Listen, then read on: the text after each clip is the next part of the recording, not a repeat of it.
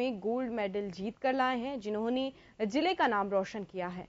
भारतीय किसान यूनियन और युवा के राष्ट्रीय अध्यक्ष ने सभी तीनों खिलाड़ियों का स्वागत और सम्मान किया। बता दें, तीनों युवाओं ने कुश्ती, दौड़ और कबड्डी में गोल्ड मेडल जीता है। साथ ही ज़िले का नाम भी रोशन किया है। दरअसल, ऑल इंडिया युवा खेल प्रतियोगिता आयोजन पंजाब के अमृतसर में हुआ, जहाँ ज़िले के तीनों युवाओं ने अच्छा प्रदर्शन कर गोल्ड मेडल जीता। कहता है, आसमां में छेदना होता है, एक पत्थर तो प्रेम से फेंको यार। आदमी अगर प्रयास करता है तो सब कुछ संभव है।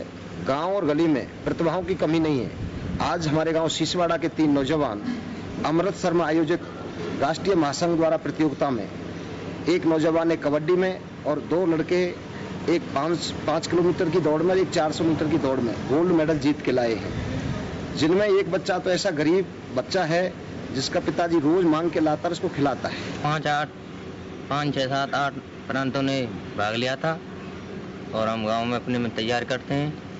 मैंने 400 मीटर रेस में भाग लिया था।